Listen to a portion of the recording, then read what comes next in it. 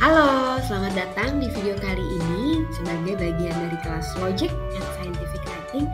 Kali ini tentang evaluating arguments. Kita akan bicara mengenai apa itu argumen, premis, dan apa itu kesimpulan. Udah siap belum? Yuk kita lihat dalam video ini ada apa saja.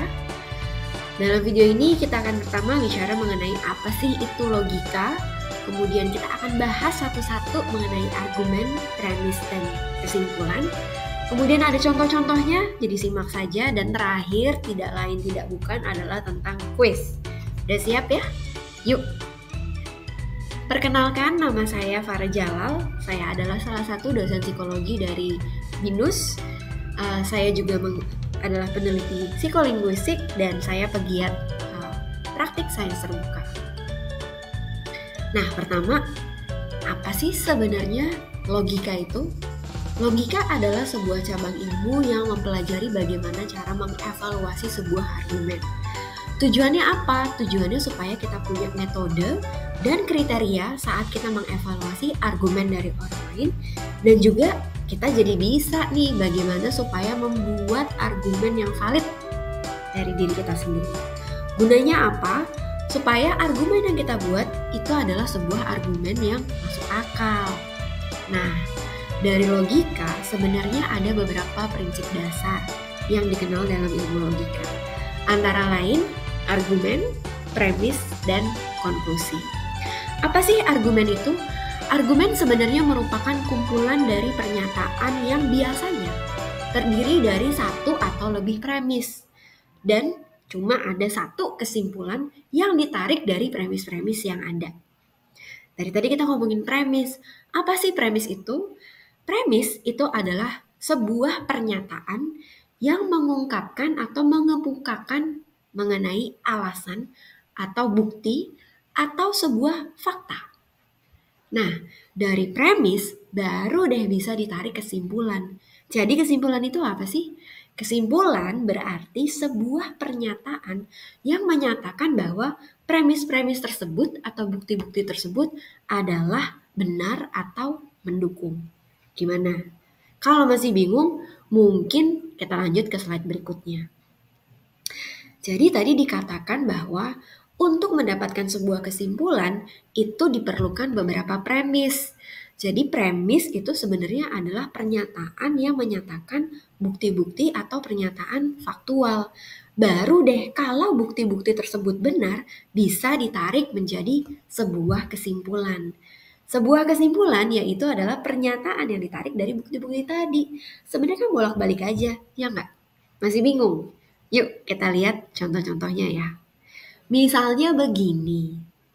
Kalau premis pertama adalah semua kejahatan adalah pelanggaran. Mencuri adalah kejahatan.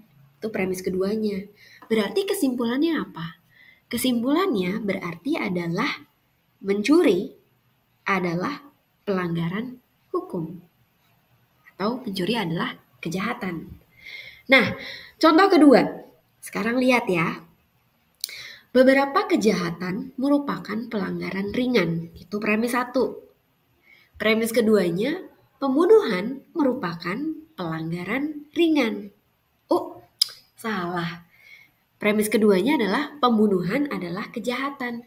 Kesimpulannya, pembunuhan merupakan pelanggaran ringan. Kok kayaknya aneh ya? Ada yang salah di sini. Kenapa kesimpulan yang ditarik itu bisa salah? Padahal premis-premisnya benar. Ada di mana ya salahnya? Yuk kita lihat. Salahnya ada di sini. Kalau kita cermati, premis pertama adalah bahwa beberapa kejahatan merupakan pelanggaran ringan. Nah, berarti kan di sini dikatakan bahwa ini beberapa beberapa kejahatan ringan. Sedangkan sebagian lainnya adalah kejahatan yang tidak ringan, iya kan? Sedangkan pembunuhan itu merupakan kejahatan yang tidak ringan. Makanya kesimpulannya adalah pembunuhan is not a misdemeanor. Jadi pembunuhan bukan kejahatan yang ringan.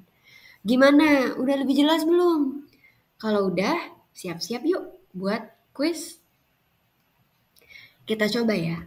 Kalau ada pernyataan atau premis pertama adalah semua apel hijau rasanya asam. Yona Gold adalah sejenis apel hijau. Berarti kesimpulan manakah yang benar? Sudah dipilih? Kita lihat jawabannya.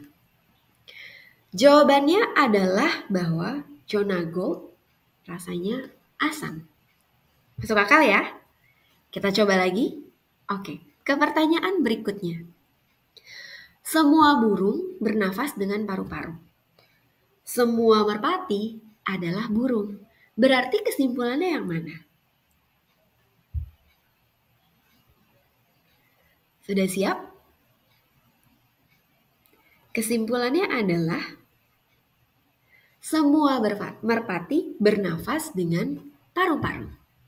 Oke, satu lagi ya, kita coba ya. Semua HP punya fasilitas SMS. Sebagian HP punya fasilitas internet. Berarti kesimpulannya yang mana nih? Gampang kan? Kesimpulannya adalah bahwa sebagian HP punya fasilitas SMS dan fasilitas internet. Gimana? Benar semua jawabannya? Oke, kalau masih bingung, kalian monggo loh untuk cari tahu sendiri di referensi berikut ini. Tapi kalau masih bingung juga, boleh loh tanyain di kelas. Oke, segitu saja video kali ini. Terima kasih banyak dan sampai jumpa di video berikutnya. Bye-bye.